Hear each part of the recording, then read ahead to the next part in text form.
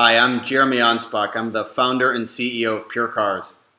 My session is going to talk about all the micro moments that ultimately impact you as a dealer since 90% of media consumption is done on screen.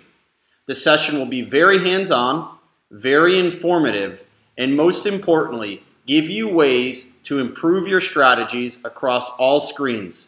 It's no longer just about digital. It's about understanding how the consumer shops and being able to engage those micro moments at the right time with the right message. I look forward to seeing you at Digital Dealer 21. Thank you.